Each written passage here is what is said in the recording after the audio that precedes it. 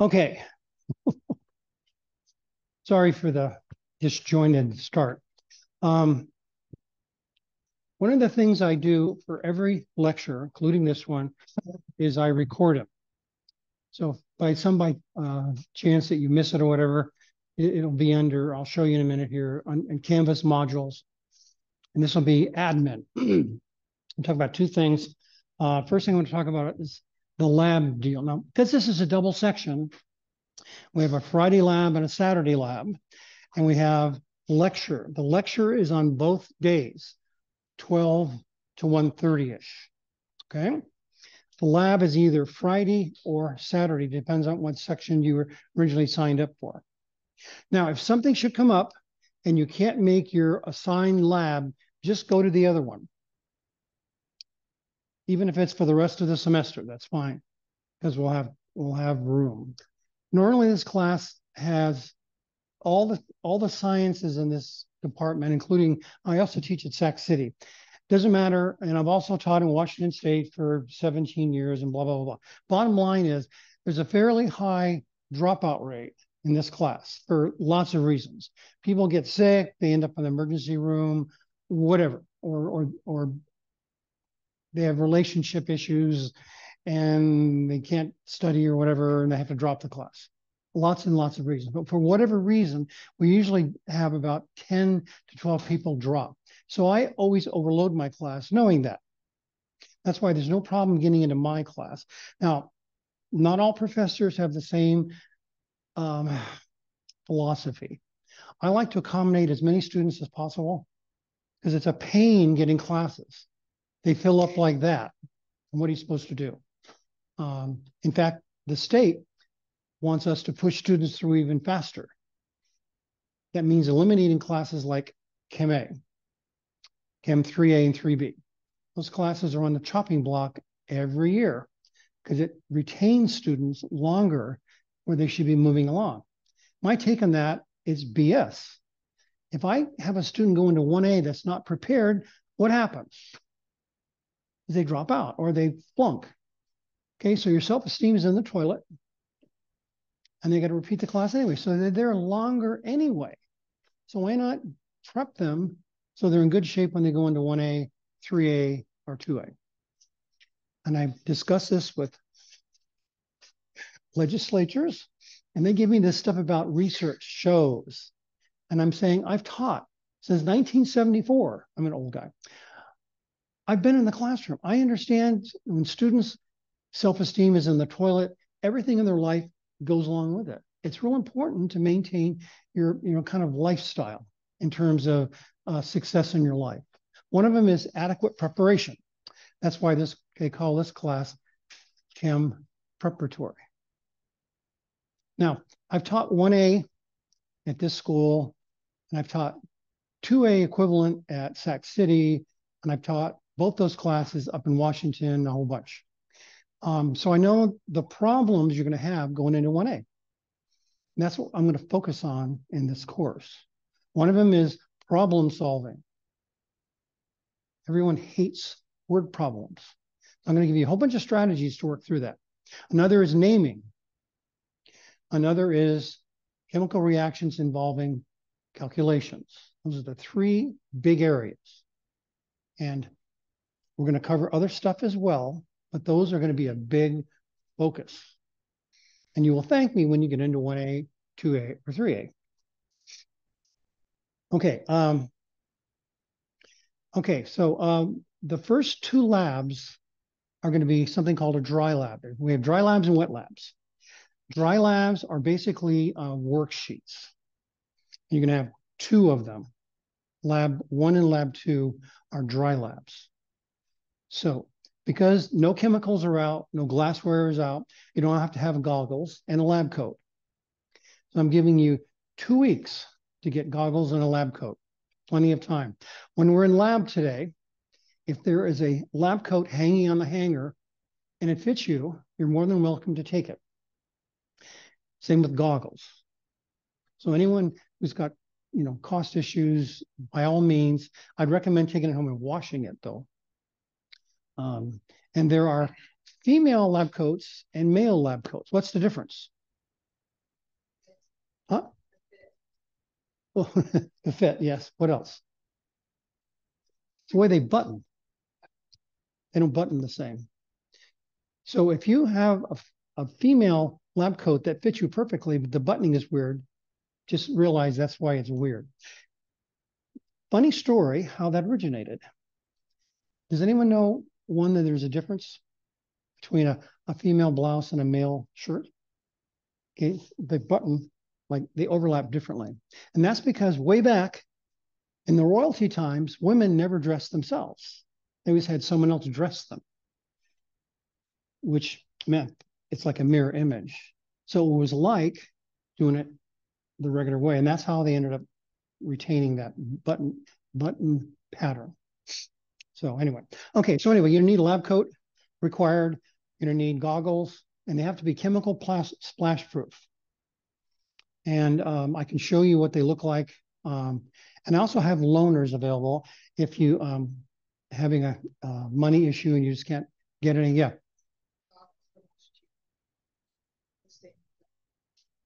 Yes, the worst place to buy anything is a student store. and who has the least amount of money in the country? Students, right? Yeah. Um, that's why, um, yeah, they, they have a good supply of stuff there, though, but it's just expensive. Yeah, so you can go to Home Depot and get your chemical splash proof goggles. They've got to be a brand called UVEX, U-V-E-X. And the model is Stealth. That's the cheapest of the line. They're also the most comfortable. That's what I've been wearing for the last 19 years. Not the same pair, but you know. um, they're very comfortable to wear. The cheap ones, excuse me, at Home Depot are like $4, but they leave nerd marks on your face when you take them off because they have to be tight to get a good fit. And at Sac City, we did some tests and they don't work as well as the UVEX ones. And you can probably get a free pair also. Remember I sent that note out saying come here on Monday. Did anyone get a free one? Hey. Someone did anyway. Okay. Um, okay, so that's the deal with, with labs. Um, and again, if you miss a lab, um, if you miss a Friday lab, you can always go to the Saturday lab. If you miss a Saturday lab, it's a problem because there's no lab. And you can't make up a wet lab. You can make up a dry lab, but not a wet lab. Wet labs require chemicals out. And what you have, um, the woman that was out here talking to you with the curly hair, she's called an instructional assistant for biology. Well, we have them for chemistry as well. And they have a whole bunch of classes to prep for. And they lay out everything so they can't go backwards to make up a wet lab. So if you miss a wet lab um, for legitimate reason, not because you slept in, although it, lately I've been sleeping in. if you sleep in past noon, that's a problem. But anyway, um, if it's a legitimate reason, um, uh, we can, you won't get full credit, but you can get some credit, which is better than big goose egg. Okay, so that's about lab. I want to get that out of the way because um, it takes time to, to find the lab coat and goggles and all that stuff. Also, closed-toed chute is a requirement, no exceptions. Okay, that's for wet labs only. Dry labs, you can wear whatever you want. The worst thing to wear in lab are flip-flops. Okay, so basically this is the test. You take boiling water and pour it on your shoe. If it hurts, it isn't good. It isn't a good lab shoe. If it's okay, then it's a good lab shoe. So things that have holes in the tops of them, even though they're closed, won't work. Just think about the boiling water test, because you are going to be boiling water in this class. And it's been occasionally, it spills. Okay. All right. So that's it on lab. Um, there's a very um, detailed lab write-up procedure I'm going to go over next week when we get closer to the wet lab. And I have videos on everything, on everything. If you go to, um, I'll bring up Canvas in a minute. If you look at Canvas, go to modules, I have admin, lab related, and units one, two, three, four, five. And those modules are uh, mostly videos. So for example, if we're, if we're looking at a process called stoichiometry, which is unit four, and you missed a lecture or you want an additional lecture, you can go to last semester's unit four stoichiometry or the semester before that. All those are there. So you have lots of videos to watch besides me. Um, my videos are um, just like I talk now. So, which means they can be boring if you uh, have to listen to them if you just want one little piece. But you can also do fast forward. I had a student 17 years ago up in Washington. Uh, there's a lot of Russian students up there in Tacoma area, and uh, her English was not her primary language, and she had a lot of trouble. So she loved the videos. So she writes me this email, and she and she watched the video for balancing a chemical equation 17 times. She said, "Thank you, thank you, thank you." And I went, "Wow, this is a really valuable asset." So I've been doing videos ever since. So I have lots of them. They're all. I have a YouTube channel where I store everything because I made a mistake a long time ago of not storing them on YouTube. And then Tacoma Community College decided to change some parameters and I lost all my old videos. So my videos only go back about four years, but there's still a lot, but I've, i think I have 300 or so videos stored there. Um, so now I have control of them, not the school. Um, all right. Um, now, normally, um, there's no worksheets or homework uh, in this class. Your grade is dependent on labs and tests. And you're going to have five tests. Um, what I have here, and you can ask questions anytime you want. Okay, don't be shy now. Um,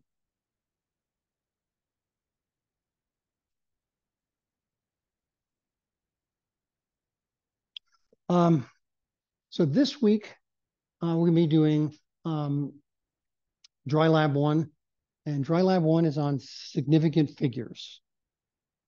And if you've never been in a chemistry class before, you will learn about that today. Um, next week is kind of weird because we have um, Labor Day. So um, Saturday, there's no lecture or lab.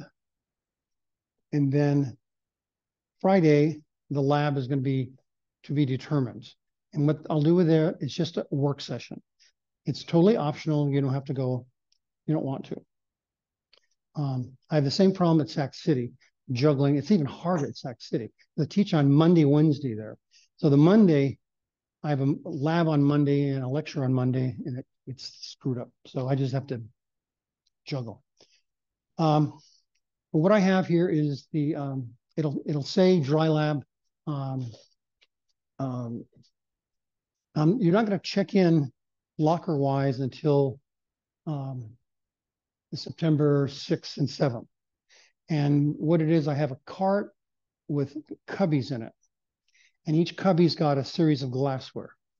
So that's when I say check in, you're going to make sure all the glassware is there, it's clean, uh, et cetera. And then you're going to sign a, a lab um, safety report, and also you need to do a, um, a waiver.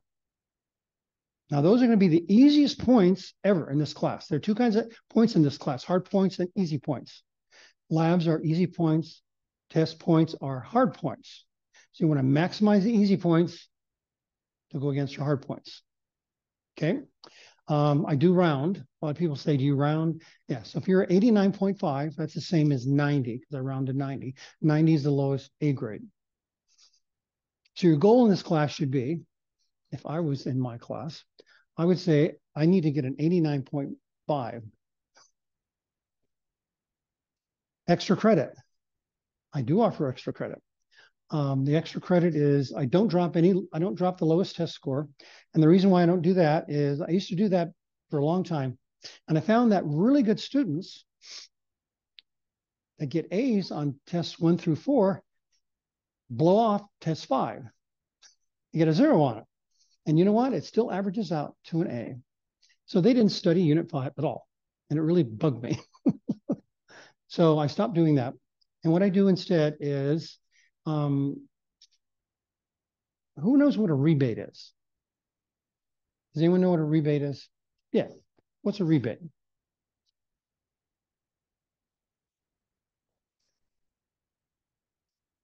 Yeah, you kind of get money back, get money back in your. Yeah, yeah. We're going to do it with test points. Um, you can do an extra credit assignment and it'll go against your lowest test score. You get a 50% rebate on how much you've missed. So if you get a 60% on your test, how much have you missed percentage wise? 100 minus 60. 40, right? And what's half of 40? 20%. So that means you go from a 60 to an 80 on that test. Go from a D to a B. You can do it once. Totally optional. What I recommend is you do it during break. After eight weeks, you're going to have a, a, a one week break, no class, no lecture. I'd recommend if you're going to do it, that's a good week to do it. It's due between now and the end of the semester in December. And it's on any topic you like. It'll be a poster. If you go on Canvas, I'll show you, I'll show you in a minute. There any questions about the lab schedule before I take that down? Yeah.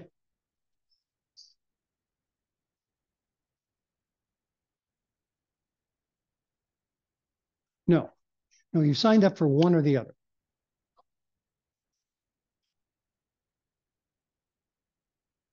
Yeah, depends on what what did what did you sign up for, Friday or Saturday? okay, if you look at the number of the class, it's either 60, the last two letters or numbers are 66 or 67. 67 is Friday, 67 is Saturday. And you have lecture both days, so lab one or the other.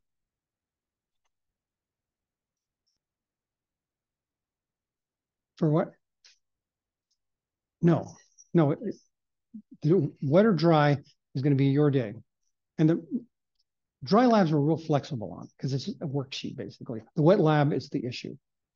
Um, particularly in the beginning, because if the lab is full, I can't allow anyone else to come into the lab by state law. I can't have more than 24 in the lab. Dry labs, we can have 60 in the lab because it's not, there's no chemicals out. Oh, and one other thing, everyone, remember I'm old. When you're old, you can't hear very well. So a lot of you are very soft spoken. So speak up. You had a question, right? Yeah. So next. No, the lab is optional.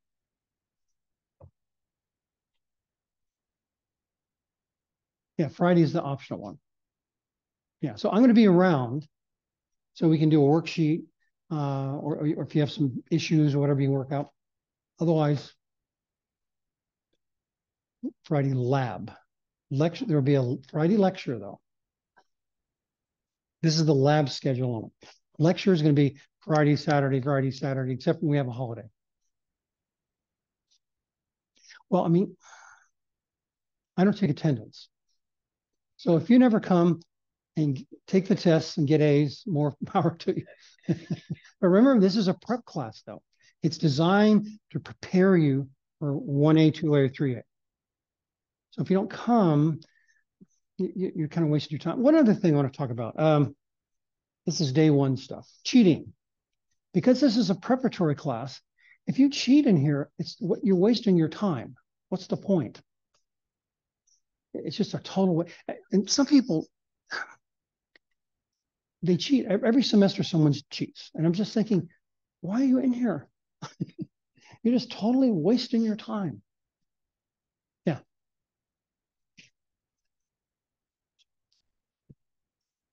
Correct. And the dry labs. Um, is anyone um, what I do for for the lab packet you've got to purchase at the bookstore? Um, sometimes they run out. So what I do is I provide for labs one and two, I provide a digital copy. So if you don't have your packet yet, um, go on Canvas, go to Files, Lab Related. I'll show you that in a minute, and you'll see Lab 1, Lab 2. Okay, let's get over to Canvas now.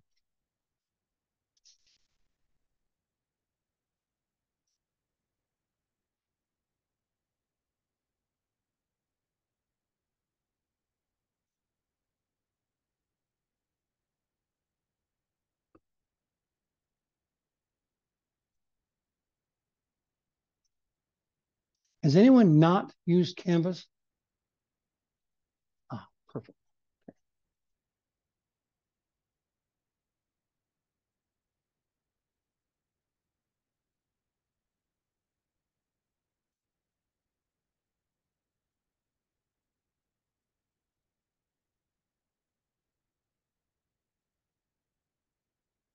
Oh, and by the way, you don't have to have a white lab coat.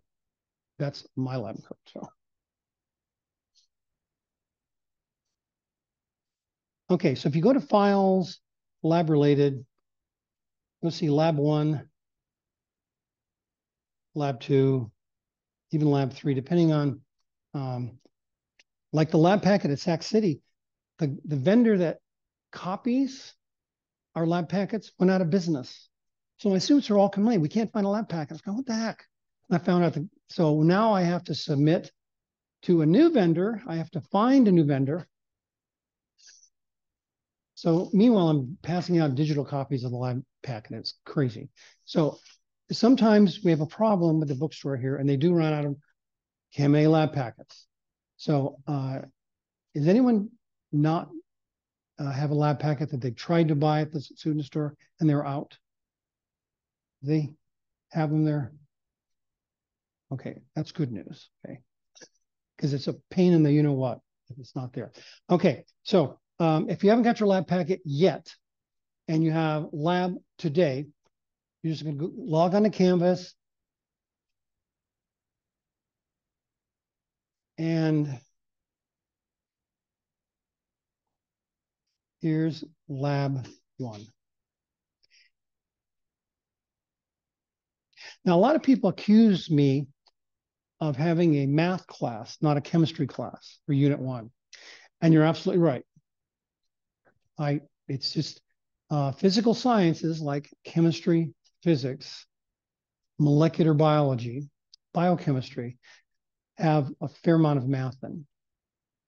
And as you, if you're a chemistry major or an engineer, as you progress through the years at school, the, the math gets increasingly more complex. So if you're a STEM major, chemistry, biology, physics, engineering, or math, you're going to find you have to take calculus. And you're like, why in the world do you have to take calculus? It's something called physical chemistry. It's typically junior class. And that class is one heck of a math class. it is really quite challenging. That was the first C I ever got in a test was in quantum mechanics. I went to Davis and uh, then I learned how to be a student. I learned how to study better, a whole bunch of stuff.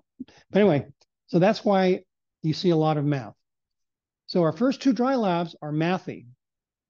Unit one is mathy, just warning you. Unit two is more, more chemistry, but okay. Eh, so anyway, you can um, access dry lab number one through Canvas, I'm saying.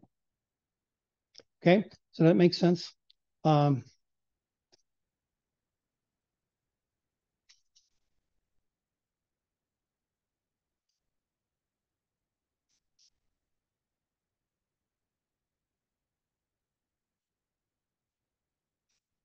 Okay, this is the syllabus. Um,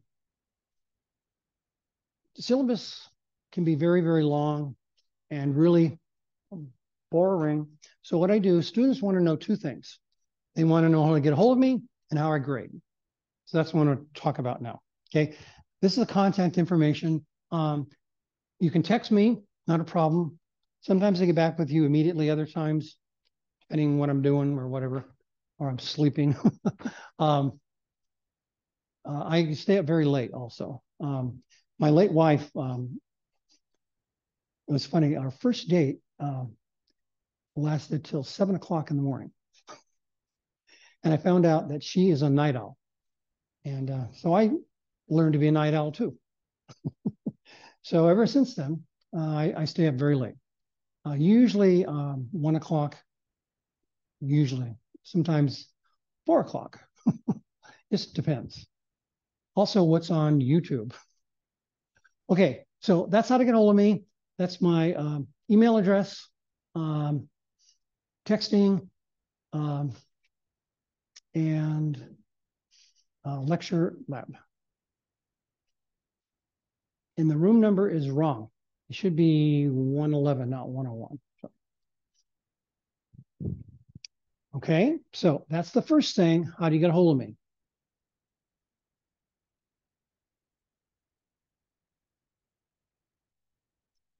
Second thing is, how do I grade?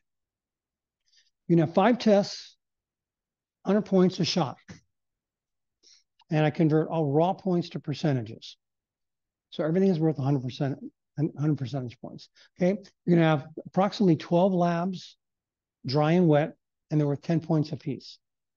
My net being 11 or 13, uh, depends on the semester. Um, and then you're gonna have two safety items, which are the same as the lab write-up. That means they're easy points. And the lab safety contract, which you're gonna sign and agree to the terms of that, and also a waiver. It's called a risk waiver. And we do that in the state of California. Every community college, university that's publicly funded has to sign this waiver. And it's just a matter of you're not going to sue the school if something happens. That's the main thing. People can sue anyway, but if you sign the waiver,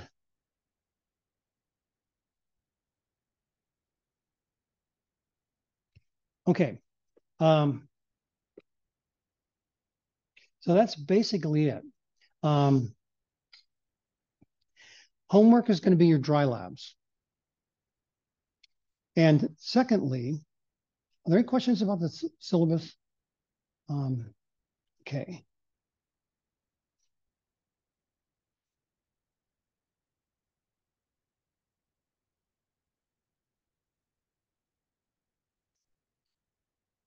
Okay, so this is modules and Canvas, uh, administrative, unit zero, lab related.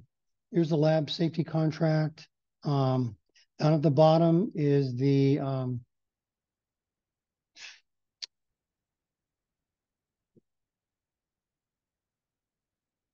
high risk waiver.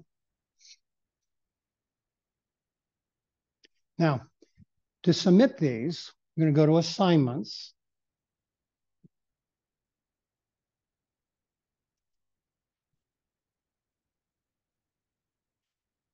And you're going to click on the assignment. Most of the stuff I do in here, you're going to be scanning it, clicking on the assignment. It's going to prompt you for a file. That file is a PDF file that you create. So for your dry lab, you're going to scan like five pages or whatever, however long it is. Save it as a PDF file and click on the assignment and it'll ask you to upload a file. And that's the file to upload one PDF, not a PDF per page. Okay, one PDF file. A lot of times at both schools, people will submit a JPEG per page, even though I told them a PDF, and I give them a zero. And I give them a zero to alert them because when you get a zero and they know they turned in the assignment, they'll go, what the heck? And I'll give them a comment that you need to have one PDF file. So, all right. So you should have a scanner app. Uh, there's a ton of them that are free. And on your scanner app, make sure you can add additional pages. You can also buy one, which I wouldn't recommend because the free ones work just fine. Um, now, if you do it in pencil, um, look at the PDF before you upload it because sometimes scanners don't scan pencil very well. I keep saying this every year. I talk to students on day one about this. I need to look up why scanners don't like pencil. But just look at it and make sure you can read it. Remember, I'm old. I have old eyes. okay. Um, I want to do one more thing here. If you go to test related, under files, you'll see extra credit posters. So if you're thinking about doing an extra credit poster, these are some examples. You just click on it and it'll bring it up. I've got, I think, 20 or 30 of them. Also, in Chem 2B, if you take that class, you're going to have to make a poster as well. And Chem 2B, you're required to do it on drugs. Uh, in my class, you can do it on anything chemistry related. I've been doing this a long time and I have lots and lots of different perspectives on this. One person was into violins. She said, Can I do one on violins? I said, Sure. I play the violin too. So um, I said, Do it on the varnish they use and how different varnishes will make a different sound. That's one of the reasons Stradivarius violins are so expensive. They had a very secret varnish they used that affected the maple wood in a certain way that made it sound better. Uh, another guy was into guitars. He did it on corrosion of the strings. These are all valid topics. Another person did uh, biochemistry of death. What happens to your body when you die? Why do you get stiff? Why does rigor mortis set in and then it goes away? A lot of uh, people do it on drugs, uh, caffeine, um, whole host, a lot of different things. Who's heard of Manuka honey? Anyone? Ah, okay. Is Manuka honey good for you? Yes. Why?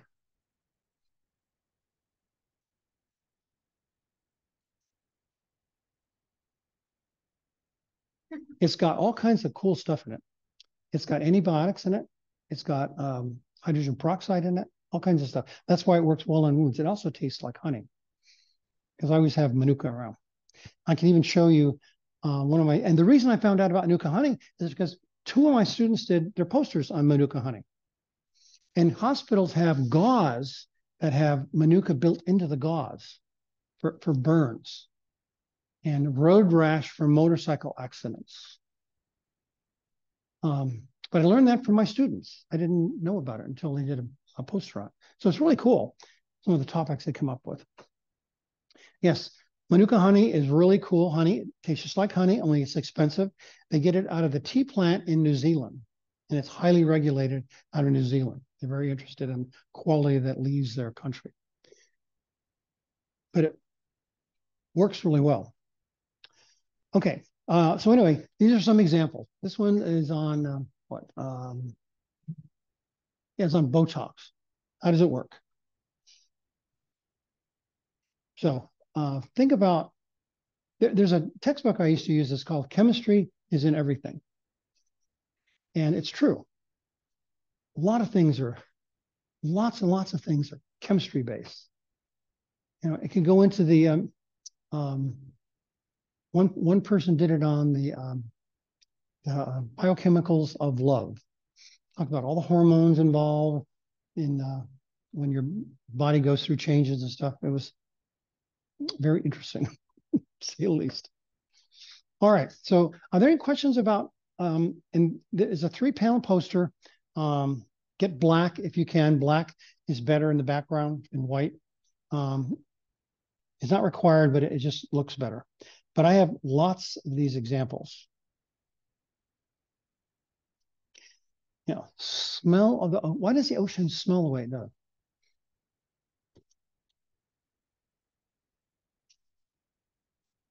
you can see big time variety. So if you're interested in doing that again, it's due at the end of the semester or anytime sooner. Now, I had one student, after I showed him this, she went home and did her poster that night. Now, at the end of the semester, without the poster, she had 104%. And I said, why did you do the poster? She said, well, I wanted to make sure I had, I'm covered. Grade was really important to her. So she didn't, and remember, if you, if your lowest grade is a 90, that means you've missed 10%, half of 10% is 5%. So you lower the grade, the more you'll get back. Now, one thing about Canvas, you can put in trial scores and they'll show you what your end result will be. So you can, for example, if you've done three tests and you want to know how you're doing, just put in a trial grade for test four and a trial grade for test five, and it'll show you, it'll do all the math for you. So it's a pretty nice, pretty nice feature. Okay.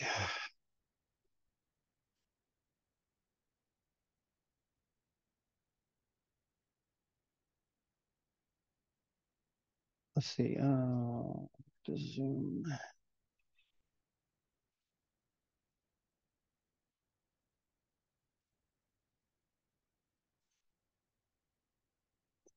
Oh, one other thing. Um,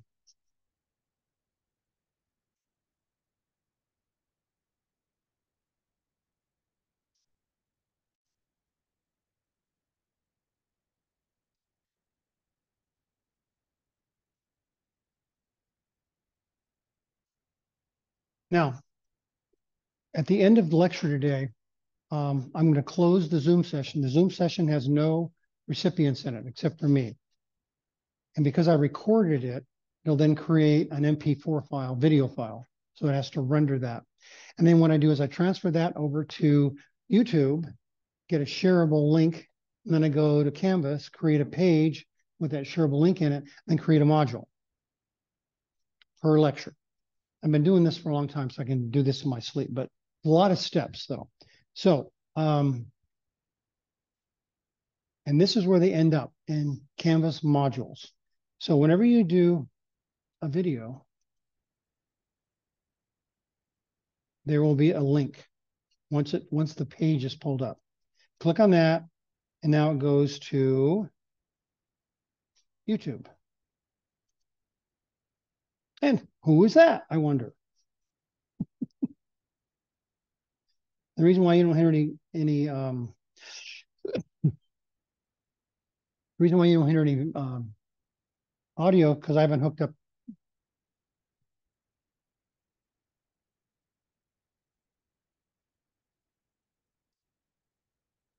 Okay. Um, so that's how you get to the video of today and tomorrow and so on. Also, if you notice,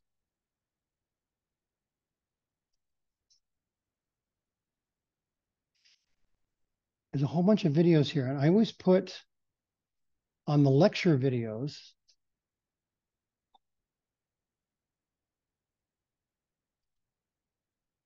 a date. So you know which day that lecture is for.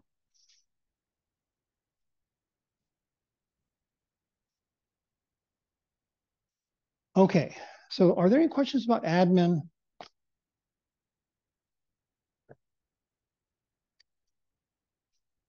Okay, so let's actually talk chemistry now.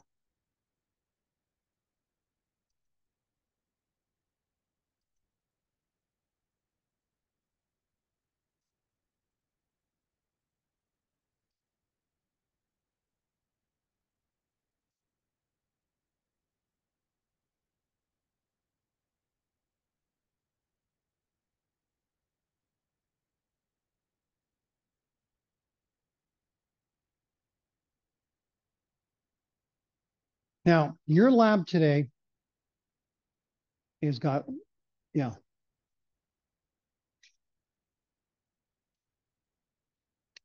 The textbook is really good.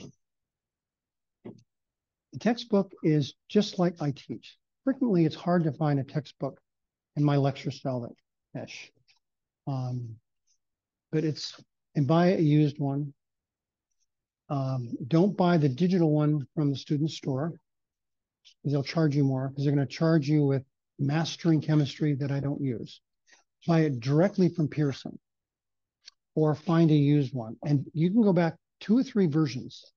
Chemistry doesn't change. Pictures change, but that's it. um, okay, so let's talk about significant figures. Now, who has heard of significant figures? Has anyone? Okay, about, let's say 20%. Okay.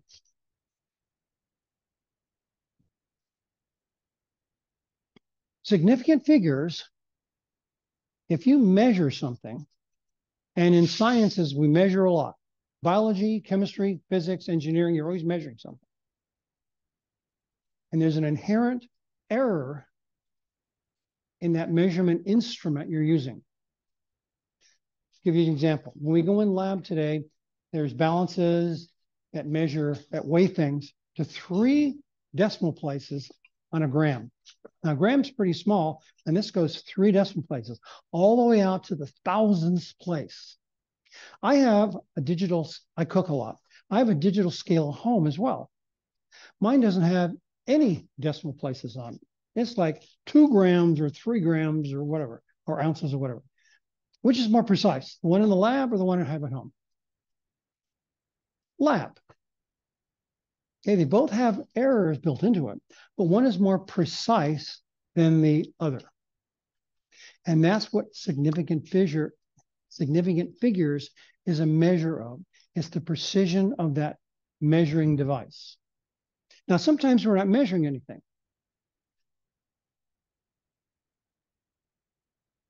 So the first thing you need to do is to be able to identify the significant figures of, and let me erase some of this stuff here.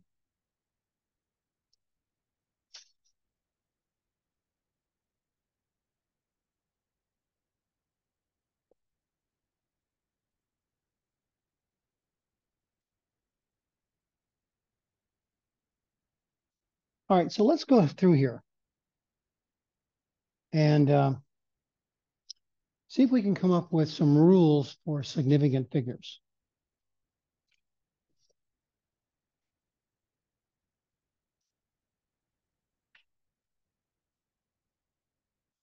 Okay, the number one, two, three. How many significant figures do you think that has? There's five. Oh, three. Okay. Anything else? All right, three. What about 1.01? I see three. What about 100? We have one, one, three.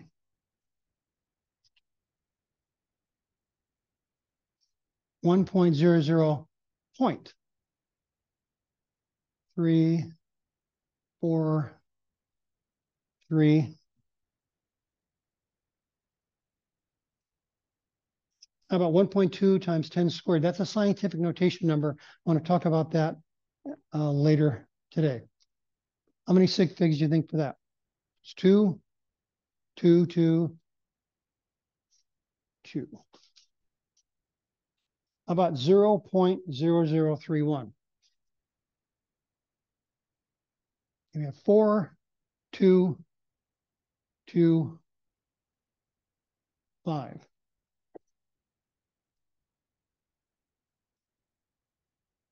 How about 0 0.00530? Two, three, four.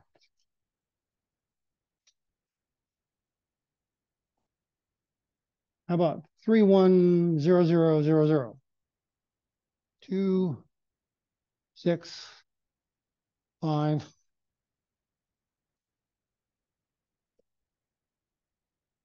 Okay. So obviously we can't have three different answers. One's correct, the other two are not. So, okay, one, two, three, three sig figs. Now, if it's got no zeros or decimal points, you just count the numbers, and that's the sig figs. Um, 1.01. Three is correct. Got a decimal point, it's got a zero. Now, the issue comes in with zeros and decimal points. If it's got zeros and decimal points, you need to have a red flag that goes up and say, look at this more closely. Okay, 1.00. Now, how is 1.00 and 1.00 period, how do they differ?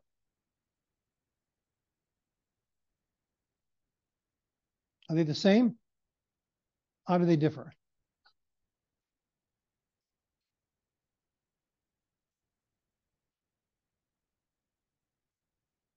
As what? Okay. And the 100 doesn't?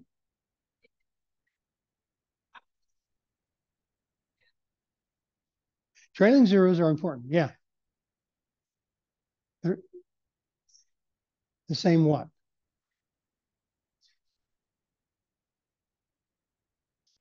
Okay, they're not the same from a precision perspective. Now, oops.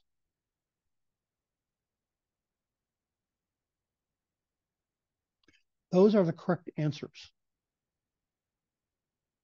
So they both have trailing zeros, but one has a decimal point, one does not. That's the big deal. Remember I said zeros and decimal points. Okay, this has both. So trailing zeros, I'm going to give you some rules in a minute here. Basically, trailing zeros count if there's a decimal point. They don't count if there's no decimal point. That's why the trailing zeros up here don't count, just the one. Trailing zeros plus a decimal point, that means the zeros count. So that's got three decimal points. Now, in your dry lab, um, if you have 100, they're going to say undetermined. That's a math department's answer. The problem with saying it's undetermined is you can't do anything with it because we're going to do math with numbers. And those number, numbers are going to be uh, predicated on the significant figures of what you're working with, the answer I'm talking about. So if it's undetermined, you can't do anything with that. So in your dry lab, they're going to give you an example, and you're not going to put any undetermined in anything. It doesn't matter what chemistry class you take, what physics class you take, and advanced biology, which you're not going to have on this campus, um, they're going to talk about significant figures. Engineering, same thing. Okay. And again, I'm going to give you some hard, fast rules in a second here. Okay, a, a number with scientific notation in it, only that matters. So 1.2, two sig figs. Everyone got that one right. Okay, now this guy, we have beginning zeros. So if you have beginning zeros and a decimal point, they don't count. So it's two sig figs. Okay, trailing zeros in a decimal point, they count. If they're in the beginning, they don't count, regardless of how many zeros, regardless of how many, uh, if you have a decimal point there or not. Doesn't matter. Okay, now on this one here, we have trailing zeros and zeros in the beginning. So the zeros in the beginning don't count, but there is a decimal point. So the trailing zero counts because there is a decimal point. So that means it's three.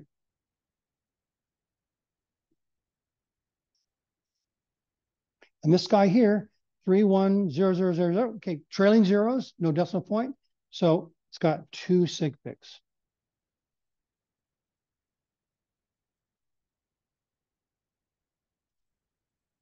Now, between now and the end of the semester, you're going to be, if you're doing math, you're going to be doing sig figs. Now, there's another class of significant figures that I haven't talked about. Going back to significant figures, if you're using an instrument to measure with, then you have to consider significant figures.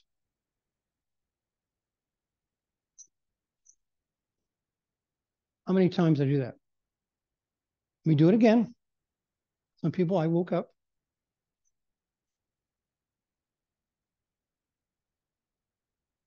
Was it four? Two? Three?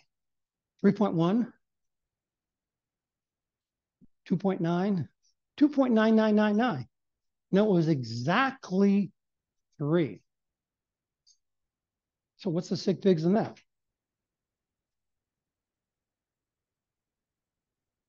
One or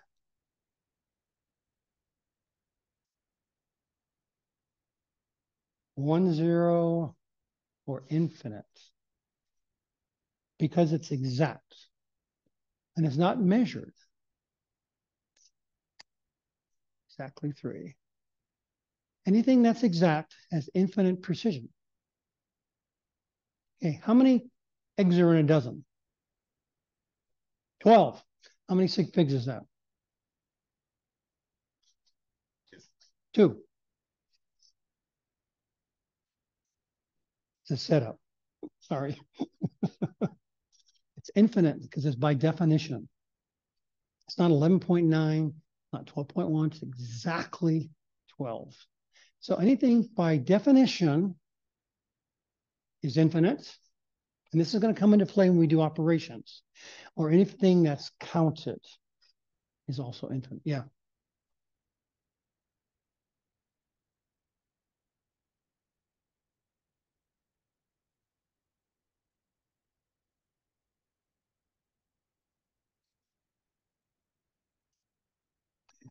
The zeros in the beginning never count.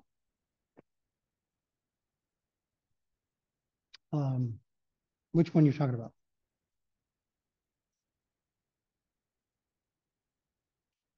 Up at the top, 100 dot.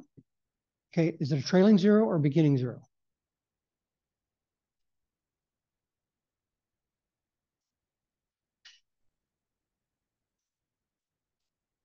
Correct. It's in the beginning.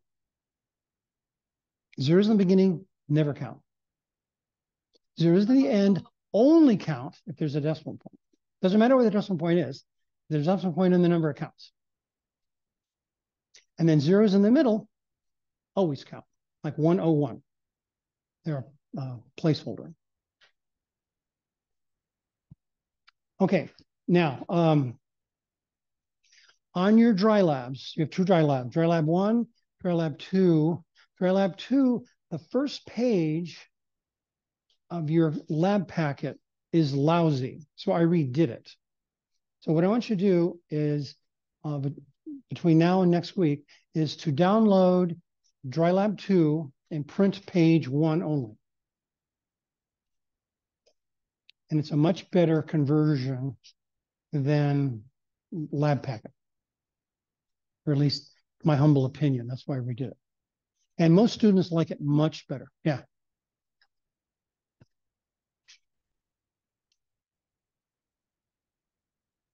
Oh, it was no point there.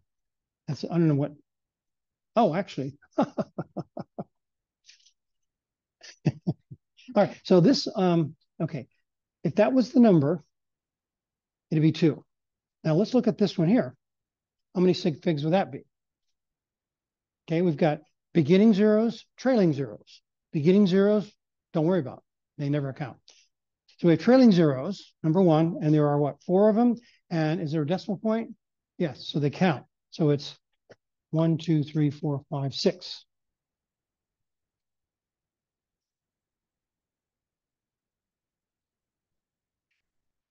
And that's supposed to be a decimal point.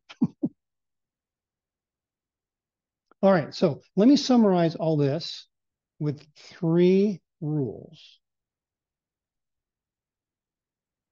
And these are zero.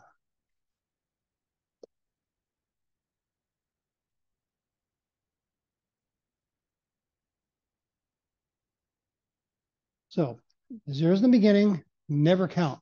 No exceptions. That's nice to say no exceptions instead of, well, maybe it counts, maybe, you know, never. Ones in the middle always count, no exceptions. And if they're at the end, or trailing zeros. They count if there's a decimal present.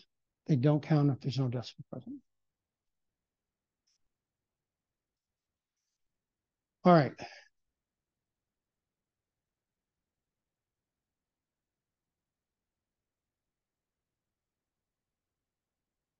Now, when we're doing math operations, there are two situations. We're adding or subtraction, and subtraction is the same as adding, only it's the inverse relationship. So they basically have the same rules. So in algebra, there's no subtraction, it's only addition. So there are addition subtraction rules, and there are different rules for multiplying, dividing. Dividing is the inverse operation of multiplication.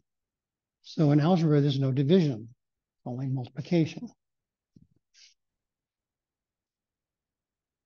All right, so whenever you add or subtract, all you're paying attention to is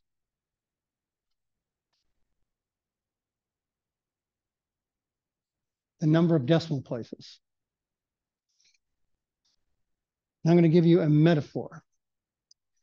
Whenever we do operations in science, we want to always, the answer is always going to reflect the weakest link just like a chain.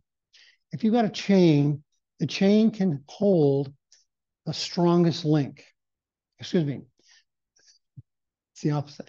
The chain can only hold the weakest link because it'll break, So if all the links can hold 100 pounds, except one can hold 10 pounds, when you pick up 11 pounds, the 10 pound link is going to break.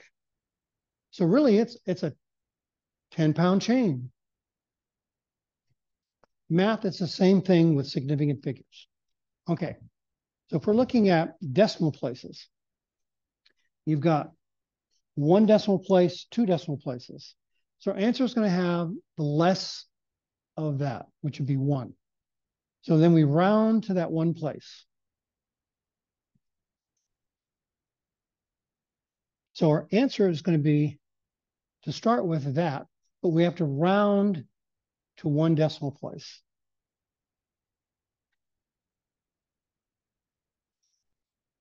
So if it's zero to four, you drop it.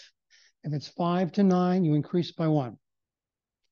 Now, in some schools, when you're rounding, if you have a five and it's an odd number, you do one thing. It's five of an even number, you do another thing. In our class, if it's five, you go up. Just simplify it. Also, if you take a statistics class, they'll tell you the same thing. It, the five is dependent on whether it's an even or odd number. Okay, so remember now, this applies to addition and subtraction.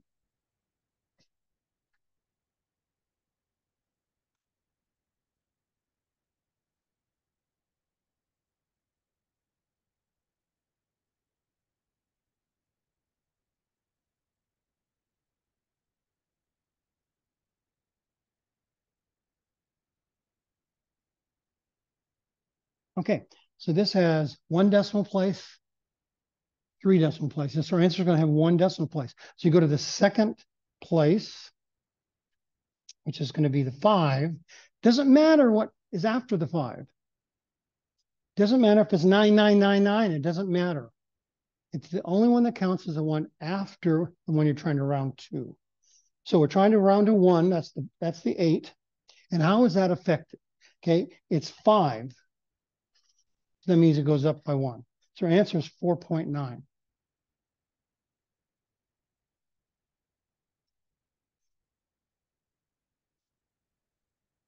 Okay, does that make sense?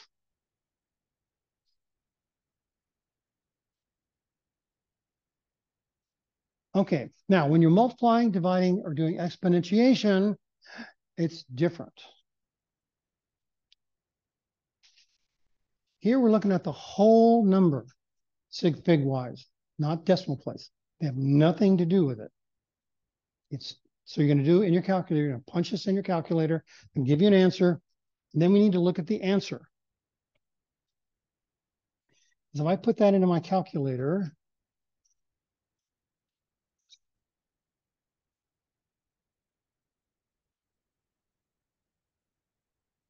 if you have not bought a calculator yet, does everyone have a scientific calculator? Okay, if your calculator does not have an EE function on it, you should think about getting another one.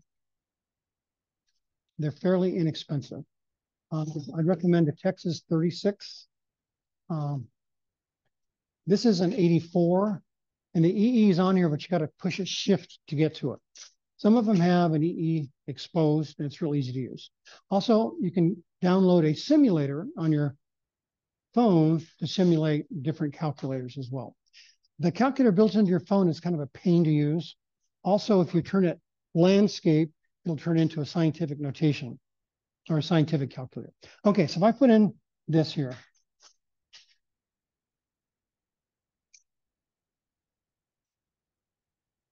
The answer is going to be 5.11. Okay, the problem is that's not your answer. Your answer has to, we have to first determine the sig figs of each one of those numbers we're using to calculate. Okay, so 365 is three sig figs. 1.4 is two sig figs. So our answer is going to have two sig figs. So our calculator gives us three sig figs. So what we do, we go to the third place it's zero to four, so we just drop it. So the answer is 5.1. Now, in this class, whenever I write an answer, I'll always say 2SF, two sig figs. You don't have to do that. I'm just doing it for clarity.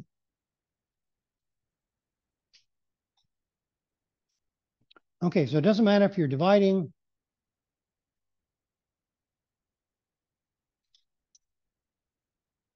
So here I have division 1.5 times 10 to the fifth divided by 0.34.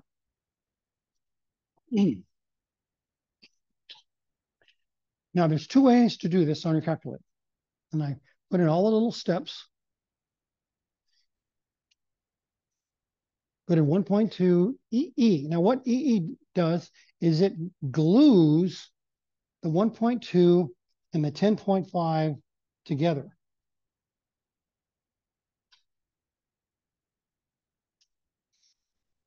You don't have to put in times 10 caret 5. It saves you three steps.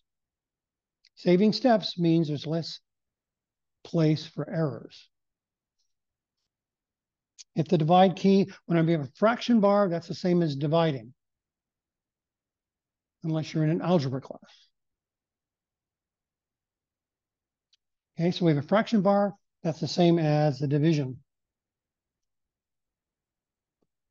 So we're going 1.2 EE 5 divide 0.34. Now, do you have to put the zero in? 0.34? If you're OCD, yes, you have to put it in. If you're not OCD, you don't have to. But the zeros in the beginning are optional. The zero on the left of the decimal point. Only the left of the decimal point is optional. So I put in 0.34. So this is what I really put in.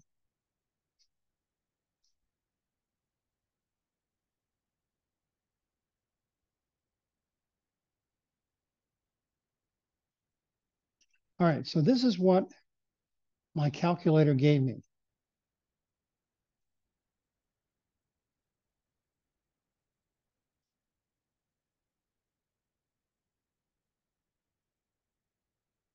Okay, now let's analyze this. How many sig figs is 1.2 times 10 to the fifth?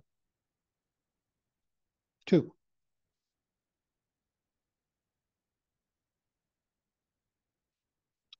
Point 34.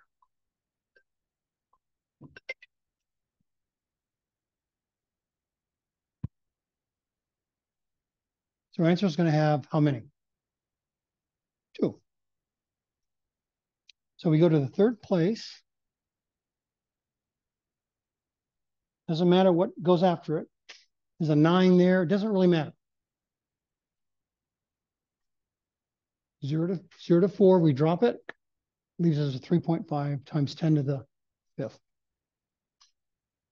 So you have to look at your problem. Now on your dry lab today, you're gonna have a, a page with addition, subtraction on the left of, of the page. You're going to use the, the rules up here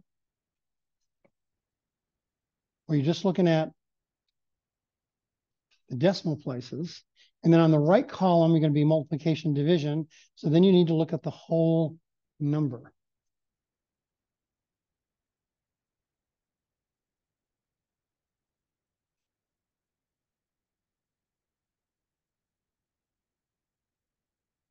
Now for the rest of the semester, sig figs are going to come into play. Your first lab, you're going to talk about lab, first wet lab, lab three, you're going to be talking about precision, measuring various objects, volume, length, etc. Okay, so um, it's officially time to go. Um, I want to cover one more thing because we had a late start before you start your lab.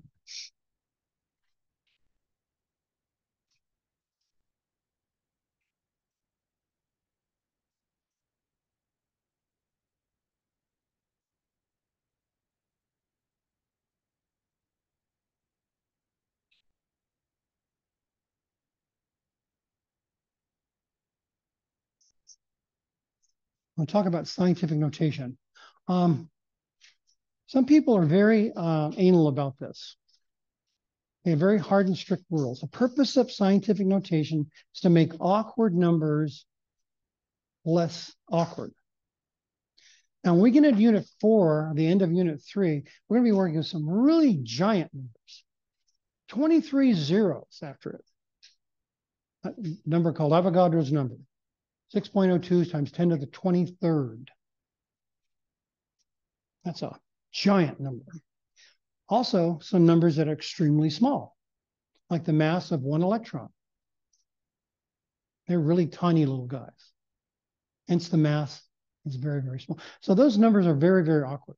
So the purpose of scientific notation is to make those giant numbers and those tiny, tiny numbers less awkward. And there's two parts to scientific notation. Proper scientific notation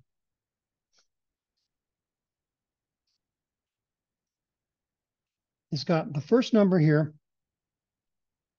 is a number from 1 to 9.99999. It's got to be greater than 1, less than 10. The second number has to do with the decimal places we've used to convert that number to the 4.6. And if we're counting to the left, it's a negative exponent. If we're counting to the right, it's a positive exponent. So in this case, we counted 10 places from the 4 out to here. 10 places. So left is negative, right's positive.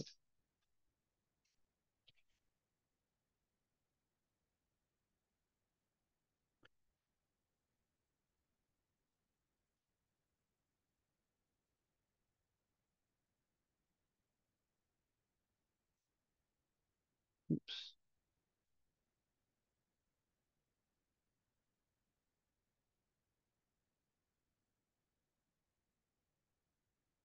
Okay, that's a pretty good size number. So for me, that's an awkward number. Now in this class, if in doubt, convert to scientific notation. Some of your teachers want you to convert everything to scientific notation, which to me is silly because the purpose of scientific notation is to make awkward things less awkward. If it's not awkward for you, leave it. Okay, so in dry lab one, though, you're gonna be doing some exercises to get you used to converting.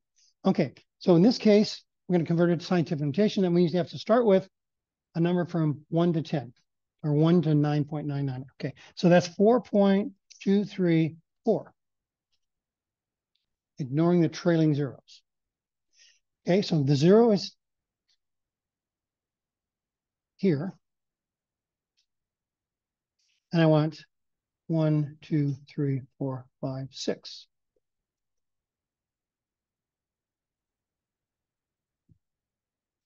Now, when you go from here to here, you have to maintain precision. To maintain precision.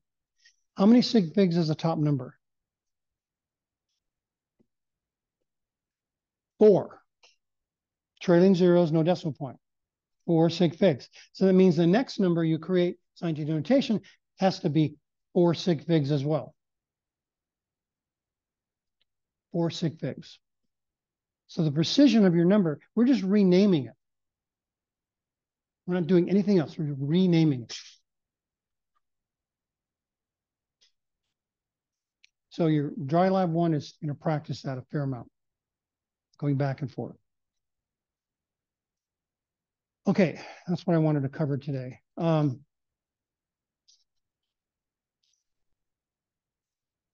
so uh, for those of you who have Friday lab, um, I'm gonna have to take down this and I have to also convert the video over.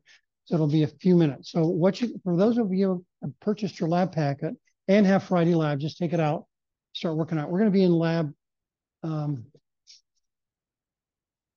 is it, was 106 or was it 104? 106. Okay, which is the second, when you see the horse skeleton, It's the lab after that. And it'll be on your right.